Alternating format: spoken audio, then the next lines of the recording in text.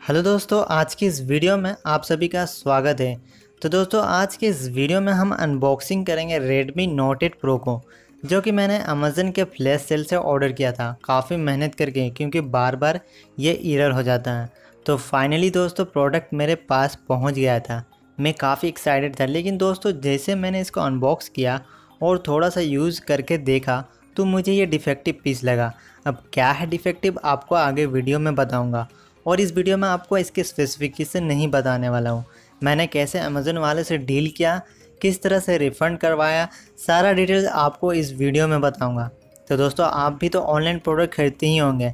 In fact सारे अच्छे phone अब ऑनलाइन ही आते हैं। तो अनलकीली अगर आपके साथ भी ऐसा हो जाता है तो आप कैसे डील करोगे, आपको इस वीडियो में जानने को मिलेगा।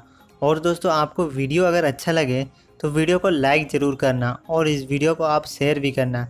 जनरली मैं किसी भी वीडियो को शेयर करने के लिए नहीं बोलता हूँ, लेकिन इस वीडियो को आप ज़रूर शेयर करना। अब बात करते हैं इसके प्रॉब्लम के बारे में कि आखिर डिफेक्टिव क्या है। तो दोस्तों, आपको तो पता ही है कि जो Redmi Note 8 Pro का बैक साइड है फुल्ली ग्लास का है और ये अलग से चिपकाया गया है। कोई ग्लू से ग्लास को चिपकाया गया है। तो जो बैक साइड का ग्लास है, वो परफेक्टली फिट नहीं है। आप जैसे कि ये देख सकते हैं कि जो लेफ़्ट साइड नीचे कॉर्नर में आपको गैपिंग देखने को मिलेगा। मतलब दोस्तों लेफ़्ट साइड गैप है। तो जनरली राइट साइड ग्लास निकला हुआ ही रहेगा, क्योंकि जो ग्लास है, वो तो फ़ोन का साइज़ का ही बना है। अगर इसको परफेक्टली फिट नहीं करेंगे तो एक साइड कम और एक साइड ज़्यादा रहेगा ही। तो मेरे बोलने का मतलब यही है कि जो बैक साइड में ग्लास दिया गया है, वो परफेक्टली फिट नहीं किया गया है। शामी इंडिया का नंबर वन स्मार्टफ़ोन है। मैं भी मानता हूँ कि शामी बजट में काफ़ी अच्छा फ़ोन निकालता है, लेकिन इस तरह का गलती मुझे उम्मीद नहीं थी। शामी को थोड़ा मैन्युफैक्चरिंग में भी ध्यान देना चाहिए, ताकि यूज़र्स को प्रॉब्लम ना झेलना पड़े। खैर दोस्तों अमेजन पर यह टेन डेज़ रिप्लेसमेंट पॉलिसी दिखा रहा था। अगर आपका प्रोडक्ट डैमेज और डिफेक्टिव पीस निकलता है तो तो मैंने अमेज़न के कस्टमर सर्विस पे कॉल किया, उन्हें सारा प्रॉब्लम बताया। कस्टमर सर्विस वाले बोले कि, आप हमें जो डिवाइस है और क्या प्रॉब्लम है, उनका अच्छे से फ़ोटो लेकर C S minus reply at the rate Amazon dot in इस ईमेल आईडी पर मेल कीजिए। उसके बाद कॉल कीजिए। तो मैंने अच्छे से बैक साइड का फ़ोटो लिया, जहाँ पर प्रॉब्लम था, उसके बाद इन्वॉइस जो बिल आता है, उसका फ़ोटो लेकर C S minus reply at the rate Amazon dot in email पर सेंड कर दिया और उसके बाद कॉल किया। फिर कस्टमर सर्विस वाले ने अच्छे से वेरीफाई किया फ़ोटो को। उन्हें भी लगा कि प्रॉब्लम आखिर में जेनवन है डिफेक्टिव पीस मिला है। तो फिर वो बोले कि इस प्रोडक्ट पर फ़िलहाल रिप्लेसमेंट पॉलिसी नहीं है। हम आपको अमाउंट रिफ़ंड करा सकते हैं।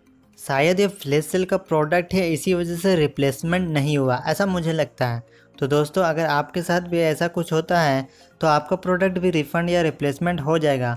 बस आपको प्रूफ देना होगा कि सच में प्रॉब्लम जेनवन है। तो दोस्तों, मुझे कल यानी 30 अक्टूबर को प्रोडक्ट रिसीव हुआ था और रिटर्न का डेट आज का था। आज कुरियर वाला आया और डिवाइस को ले गया। तो मैं प्रीपेड ऑर्डर किया था। जिसमें कुछ मेरा अमेज़न पे बैलेंस भी था। अमेज़न पे बैलेंस से जितना पैसा कटाया था, वो तो दो से चार घंटे के अंदर मिल जाता है। मुझे भी मिल गया, लेकिन बैंक से जो पैसा पे करते हैं, वो तीन से पाँच दिन के अंदर मिलता है। जब आपको प्रोडक्ट सेलर के पास रिसीव हो जाता है तो अब मुझे भी वेट करना होगा, क्योंकि जब पैसा वो आएगा, उसी टाइम मैं इसको ऑर्डर कर पाऊँगा।